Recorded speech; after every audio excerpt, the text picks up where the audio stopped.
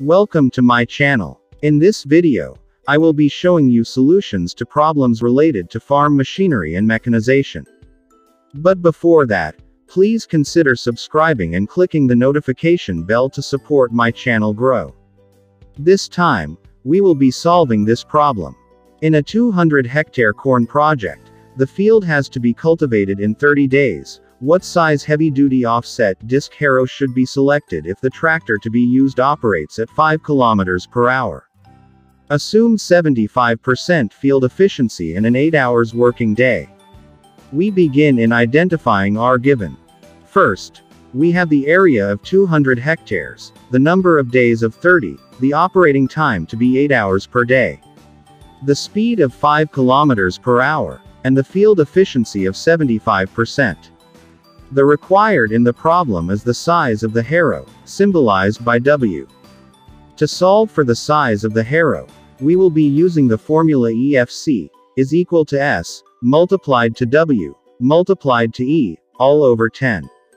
Wherein the EFC stands for the effective field capacity, the S is the speed in kilometers per hour, W is the width or size of the implement, and E, is the field efficiency.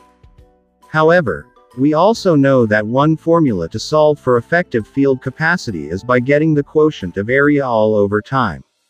Having this formula, we simply equate it to our first equation, which is the EFC is equal to S, W, E all over 10. We now have, area all over time is equal to speed times width times field efficiency, all over 10. Having this equation, we can now solve for the value of the size of the harrow which is the W in the equation, or the width of the implement.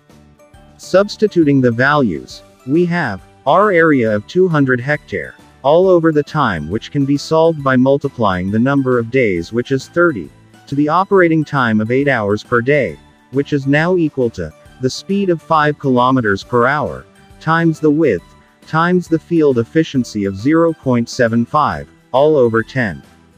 We simply solve and we have 200 hectares all over 240 hours, equals to 0.375 kilometers per hour, times the width. We have 0.833 hectare per hour equals 0.375 kilometers per hour times the width. We divide both sides of the equation to 0.375 kilometers per hour. And, we have a final value for the size of the implement to be 2.22 meters. That is now the solution to our problem. If you wish to watch more tutorials related to this field, you can simply visit my channel. Don't forget to like and subscribe before you exit. Thank you for your support.